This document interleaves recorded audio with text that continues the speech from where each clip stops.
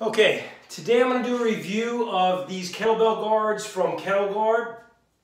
These, uh, I like these kettlebell guards. They're very effective. They're, uh, you're able to use them in kettlebell sport competitions.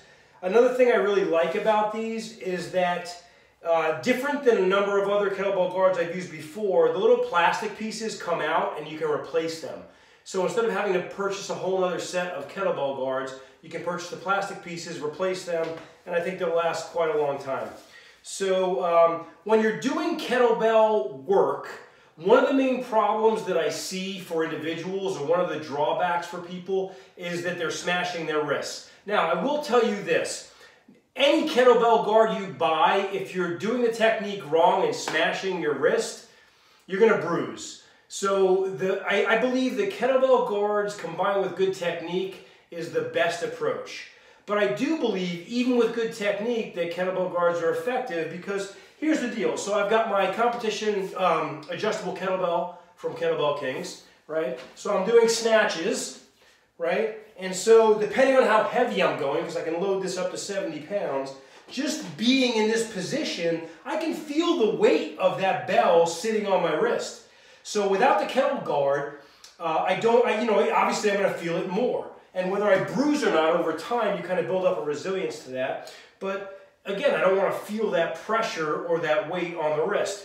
If I'm going heavy, here's my 34 kilogram from Kettlebell Kings. And I pull that into a clean position. Again, it's, it's heavy, it sits on the wrist heavy. It's nice to have that guard to protect, okay? If we're using um, iron kettlebells. So I'm to use my, oh, I like this so much. I'm use my skull, my skull bell from Iron Company.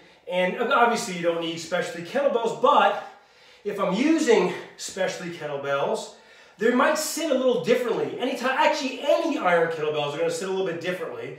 And so when I'm using these different positions, okay, Obviously, it might sit a little funny on my wrist. I mean, this sits really well in the pocket. It sits well in the snatch. But again, depending on the weight, even if I'm doing good technique, even if I'm not slamming, you see I'm not slamming any of these movements, again, just that weight sitting on your wrist tends to just cause a lot of pressure and discomfort. So do I recommend them? I absolutely do. KettleGuard, take a look at it. If you're interested, buy them. Don't let the pain on the wrist or the bruising, things like that, cause you to not train kettlebells because kettlebell work is one of the most effective strength and conditioning moves you could possibly do for strength, for conditioning, for your cardio. It's amazing. Stay strong. If you have any questions, let me know. I'll see you next time.